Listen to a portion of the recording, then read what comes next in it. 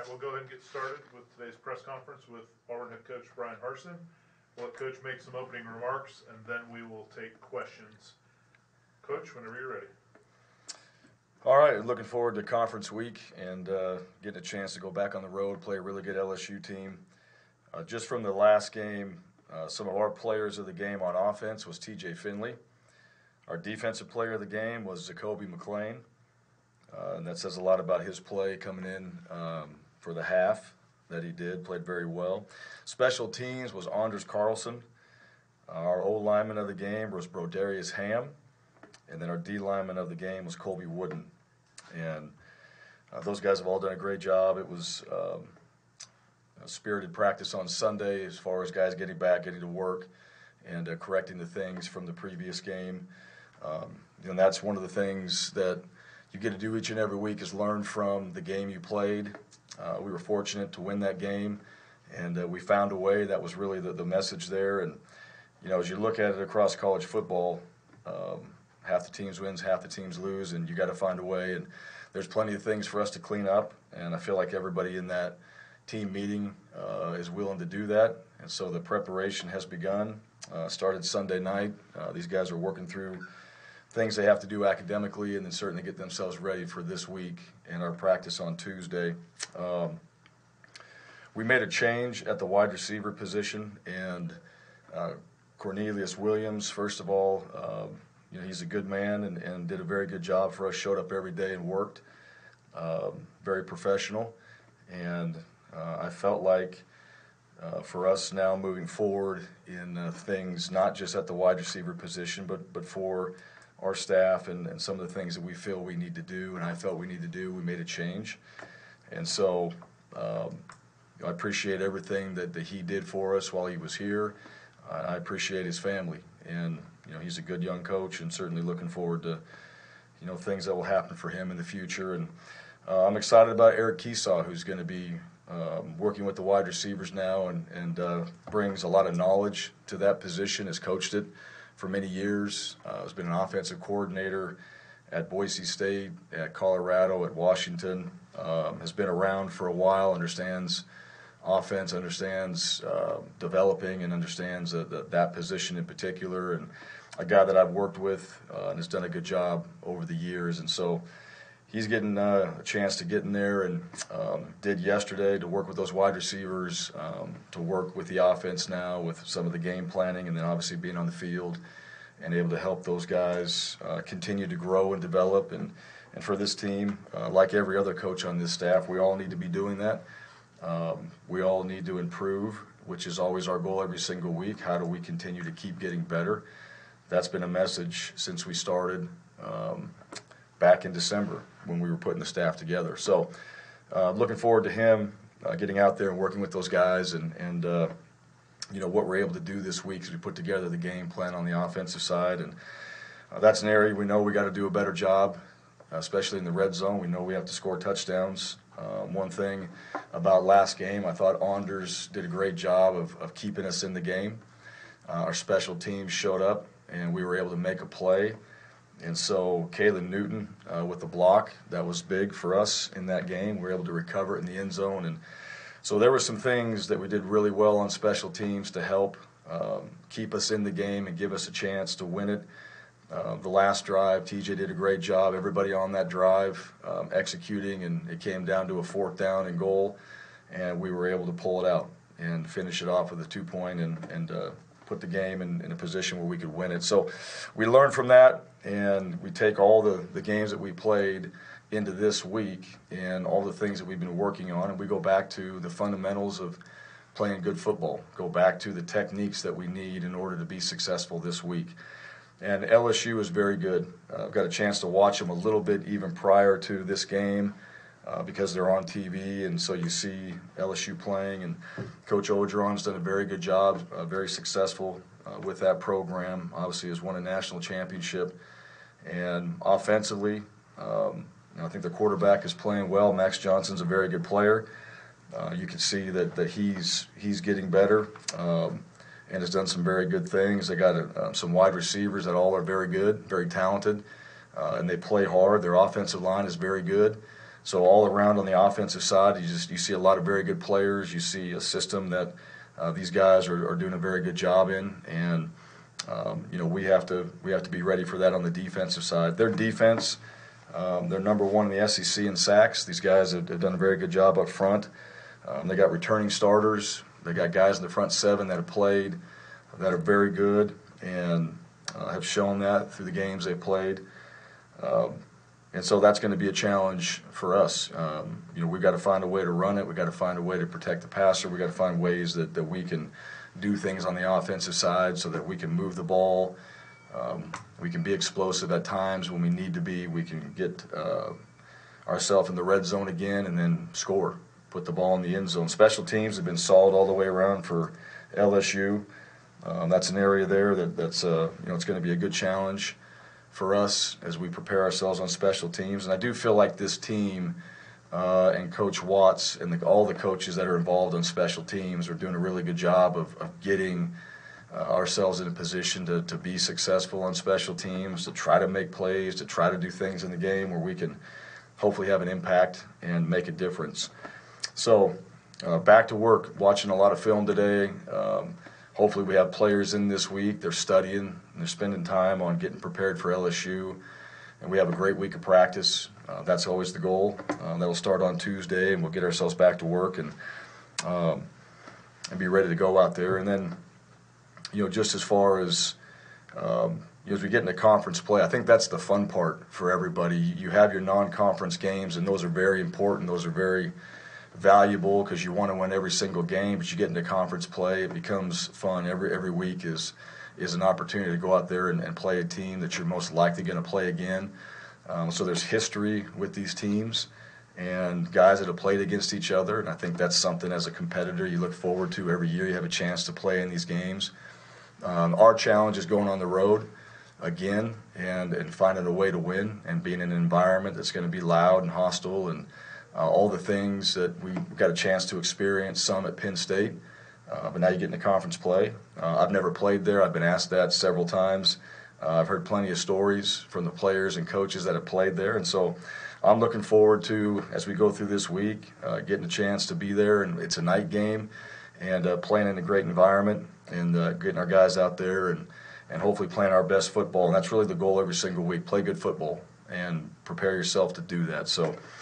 Um, it's going to be a good week. It's going to be a good week for us to to really hone in on a lot of things that we know that we're going to get better at. And what I like about this team is they want to, uh, they have that desire to, and you know, right now it's it's a matter of putting together some really good days as we head into this this this game against LSU and um, and this week and get into conference play. So with that, questions. Our first question is from Ryan Hennessy.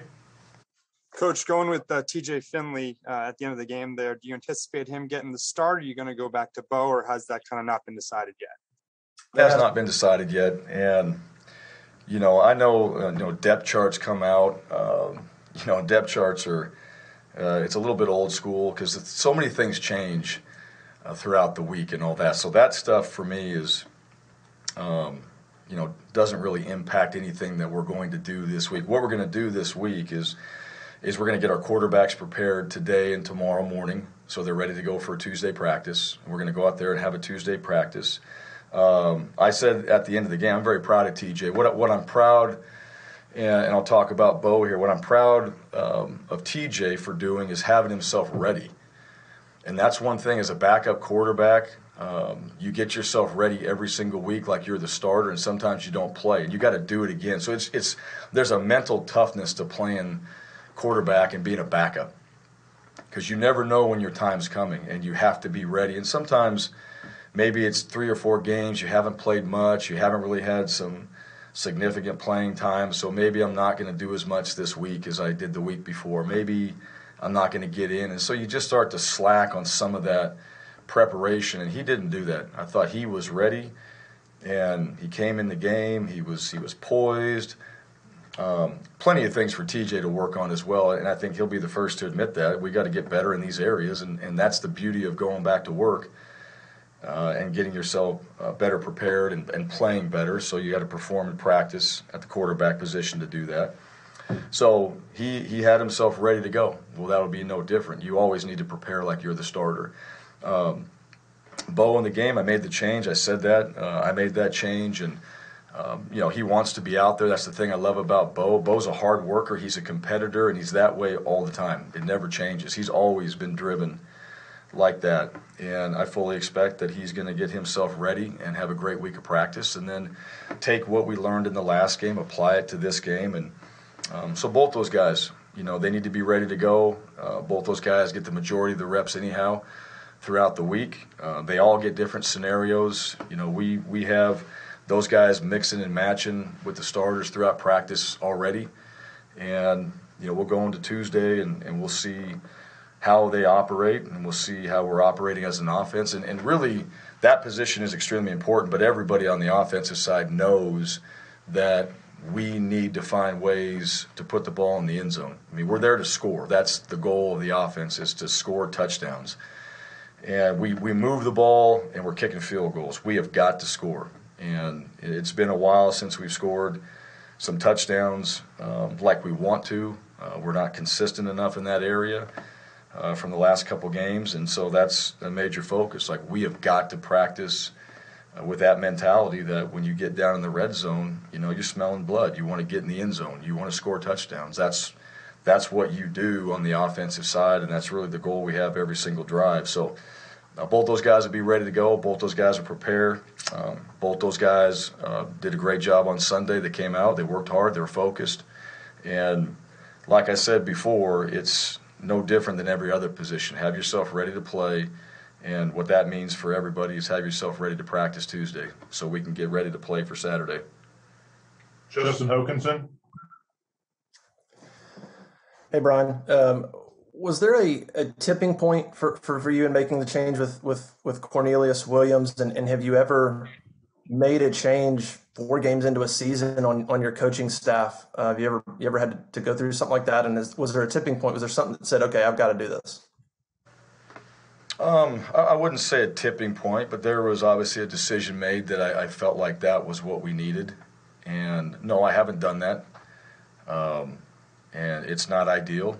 I understand that, um, and and you know I, I, don't take that lightly. It's you know it impacts a lot of things, and so I'm aware of that. And and like I said, it was just you know what I felt like um, you know we needed to do over time that just uh, was going to be something that you know I feel like can help us as we move forward um, in that room and in that. Uh, at that position. And then obviously for the future is, you know, we continue to, to keep building this program. And so, um, you know, what I think is, uh, you know, Coach Kiesau has, has got a lot of knowledge and, and has done a very good job at that position. I've got a chance to see it, but no, there was there was no there's no incident. There's there's nothing like that. There's nothing that um, you know. Like I said, um, Coach Williams, um, I got a lot of respect for him, and he did a very good job for us while he was here uh, of showing up and working hard and and doing those type of things. But I felt like you know, in order for us to to continue to progress like I feel like we need to, um, that change needed to be made, and, and it needed to be made now, and and so I made that decision, and so.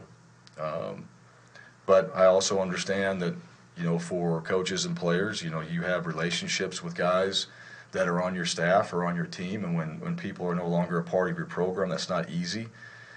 Um, and you know, I, what we have to do now is the decision was made. We got to move forward, and we have to now give ourselves the best opportunity uh, with the people in place to, to go out there and, and play really good football and be a team that can go in and compete and and be a type of team that can play for championships. Those are the things that we all want to do.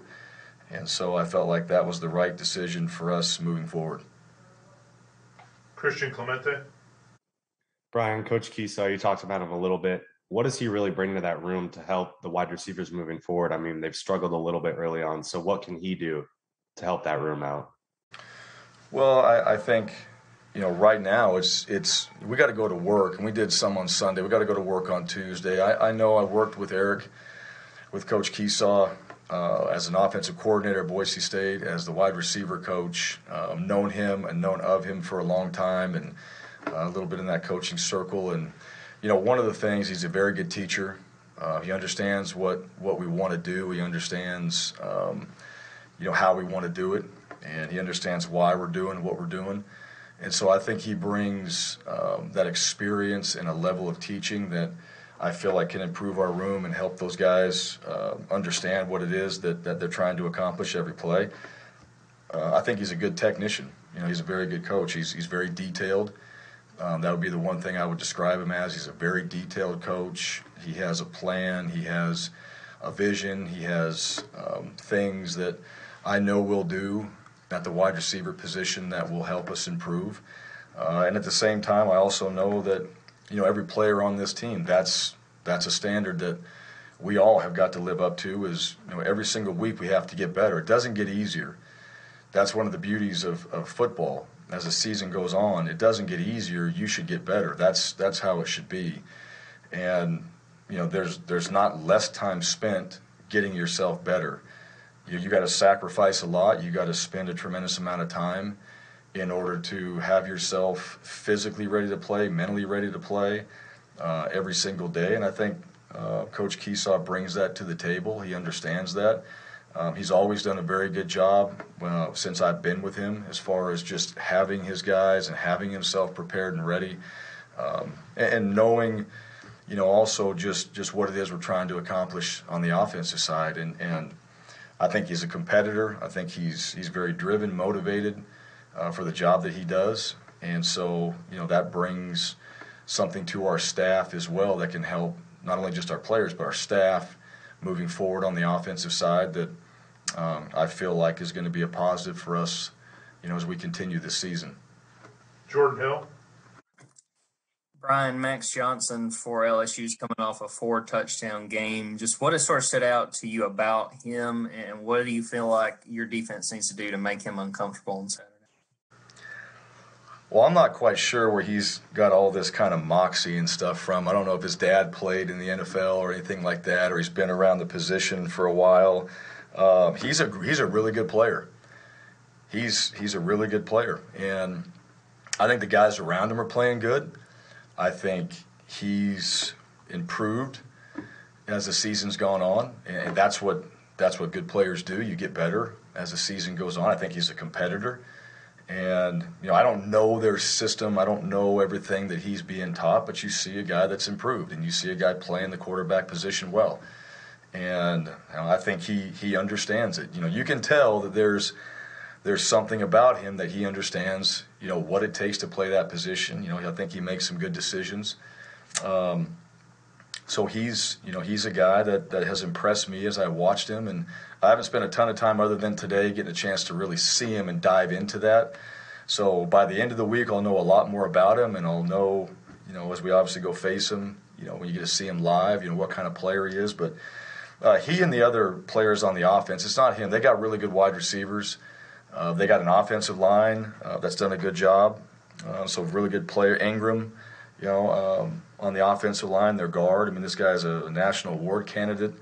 Um, number one, Kayshon. This guy, this guy can go. He's a he's a really good player, and there's other guys around him as well. So you can see that you know they've done they've done some things really well on the offensive side. He's a guy that um, you know Max is a guy that's that's leading the charge right there, and um, you know, we got to get prepared for that. So our defense and, and everybody on that side of the ball has to be ready to go against a really good offense.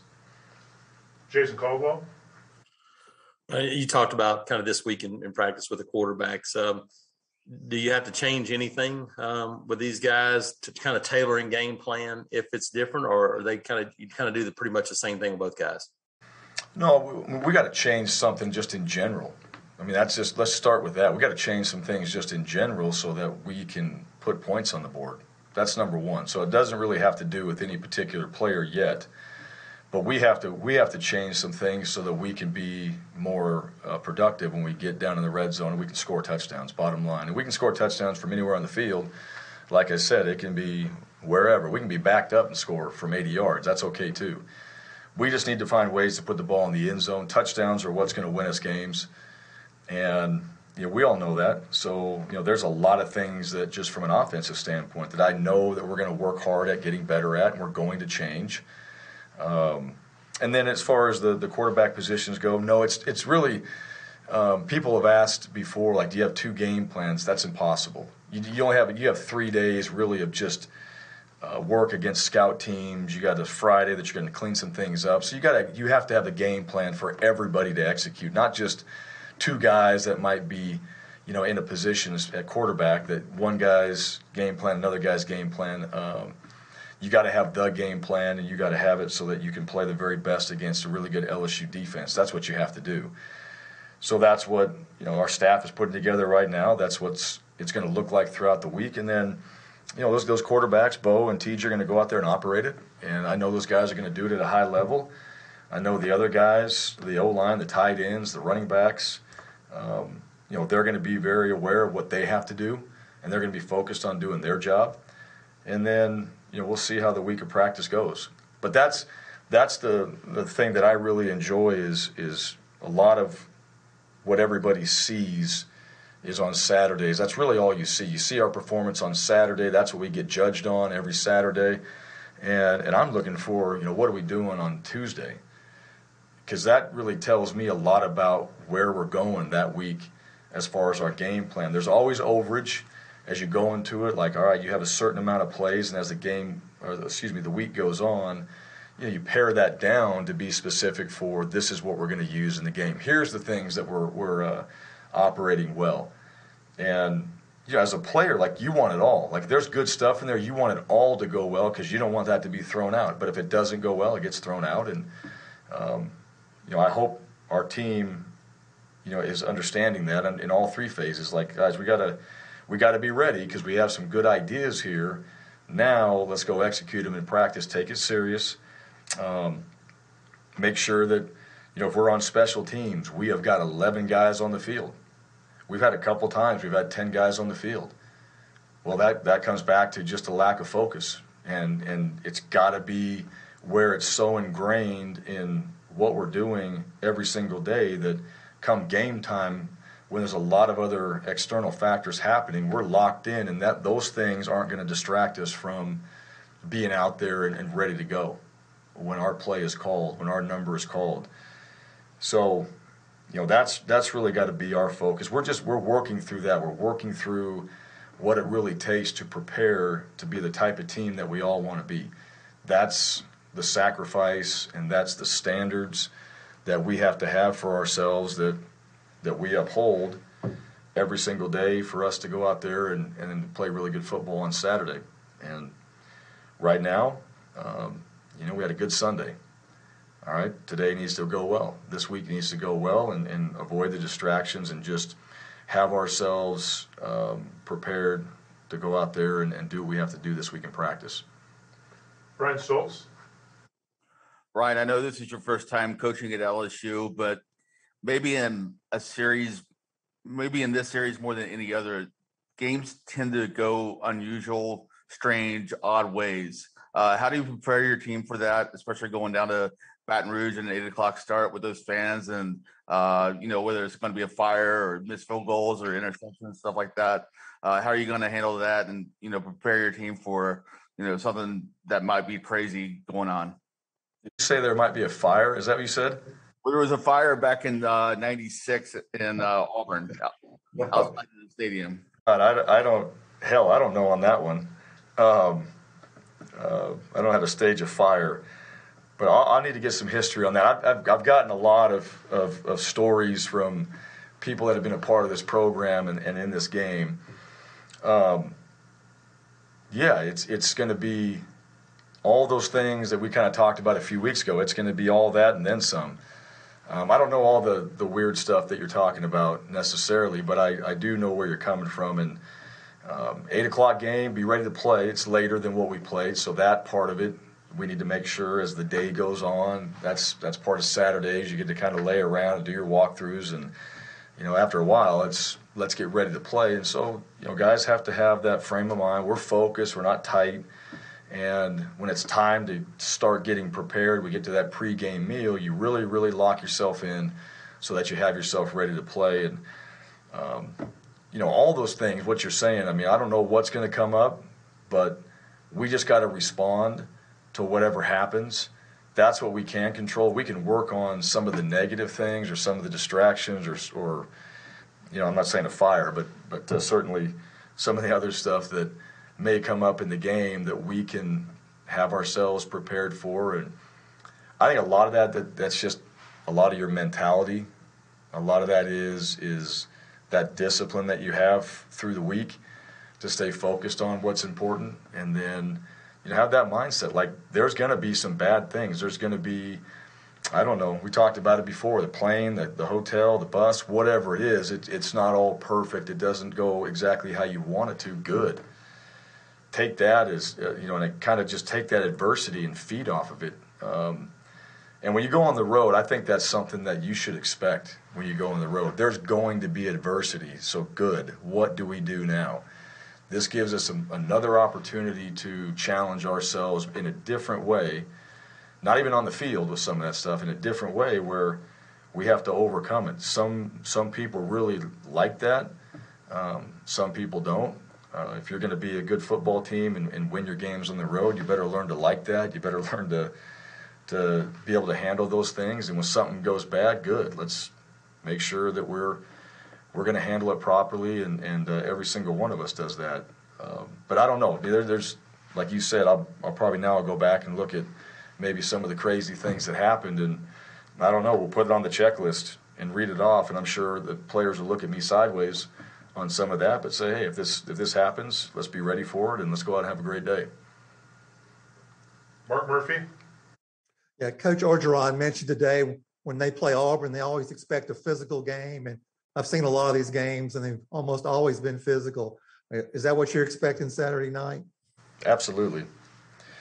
Yeah, absolutely. Uh, I expect us to play physical, and I expect them to play physical. Um, you know, it's an SEC ball game, and uh, two good teams. You know, we got to travel there, and I think you know we're we're we're working on trying to be a good football team, but um, if it's not, it's very obvious. When you go play, if there's there's one team that's not physical, it's very obvious in that game um, who's going to have a, the upper hand. So you, you got to train that way. You got to you got to believe and think that way about yourself as a player. Uh, and I think that's the beauty of, of playing. Like you put pads and helmets on to go be physical. That's what you do. You you can compete in a lot of other things. I think you know it's not just about hey you're a competitor those type of and you can compete in a lot of different ways. Go compete in pickleball if you want to. But when you throw the pads on and, and you throw the helmet on and all that, I mean, it's to go be physical. That's why you play this game. So there's all those other components, but that's the beauty of football. Put your thigh pads on, get your shoulder pads, helmet on, and go be physical and be, you know, that kind of player because that's what helps you win games. And when you got 11 guys doing that consistently, then you got something. You got something that um, you know you can go out there and, and really set the tone and, and be a team that um, has an advantage when you can play physical and you got to be tough you got to you got to have fight in you and you got to want those things and you know we got players on this team that do. And we we got to make sure that we have more that continue to want to do that and play like that and we're capable of it. You just got to you got to turn it on. You got to play for three and a half hours in a physical ball game and and um, so I agree with that, and uh, I know that LSU is a physical football team from what I've seen. So, you know, we get ourselves ready to go and just and just know what to know we're getting ready to go play against, and then, you know, really it's about us. You know, how are we going to play? How are we going to come out there and, and for four quarters, how we're going to play and what we're going to do, and um, you know, don't flinch, don't flinch. Coach, our last question today is from JG Tate. Hey Bryan, uh, listen, some of us were down at LSU in 2001. I got we got mooned by Santa Claus. So I mean, there's been some crazy things that have happened down there. I'm telling you. Yeah, what? I got I got mooned by Santa Claus. I mean, Jason did too. So I mean, that happened. Okay. All right. I'm just telling you, you got to prepare for anything. Listen, I do have a question though. I do have a question. the game? And I'm sorry, I can't hear you. What what day was the game? That was the year that it got delayed due to 9/11, so it was like December 10th or something like that. It was uh So, so right around Santa Claus time. I guess that's why he was there. yeah. I don't think that was actually him though. It may have been a proxy. Yeah, it Uh, seemed a little early. Yes, uh, I do have a question though. Honestly, uh, about corn. Kind of going back to that a little bit. I know that's going to be a big shock both to the wideouts and to a lot of the players on the team. Is that kind of part of what goes into the decision like that, where you're going to kind of have that shock to the system and kind of let everybody know that, hey, we've got to do something different, and, and I'm going to show how serious I'm about doing that? Not at all. No, that does not. That did not cross my mind that uh, you make a decision like that to make a point. Um, so no, that that's not what you know. Some of those decisions are. I mean, this is you know, it's about people, and um, you know, it's about things that I felt like you know we needed to do. But it's really about the whole idea that this this program is built off of is that we continue to get better. That's that's really what it was about. We got to get better. And so it was not to send a message to do anything like that. That's that's never you, you don't make decisions like that. At least I don't believe you make decisions like that uh, as a head football coach. So you can just go out there and just send a message. All right, you make calculated decisions that you feel like are best for the team. Um, I think that's a selfish way to look at it. Uh, if that's the case, um, there's a lot of different ways to impact a football team and make a point if you really have to make a point. Um, uh, and, and it's not like that. What this was was just about um, where I felt like, as far as our football program is right now, um, and what we feel like we have to do moving forward to be the type of program that, that we want to be and that we're working to be and that we will be.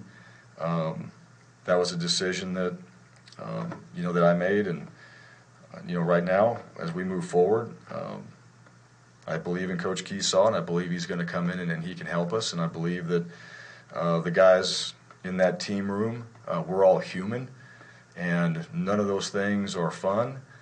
At the same time, we also know that you know we've got to get back to work and that we've got to focus on the things that are, are important for this team to continue to succeed, and that's that includes me and everybody that's in this program. So it's not just never it's never one particular person. It's never one particular player. This is a team sport and everybody's involved in that. So um, but no, I don't I, I, don't look at that decision um, whatsoever like that. I look at it as um, you know something that you know we had to do in order for us to, to do some of the things that, that we've talked about back in December as we put this staff together, put this program in place, and said, this is what we're going to do, and here are the standards, and these are the things that you know we expect moving forward.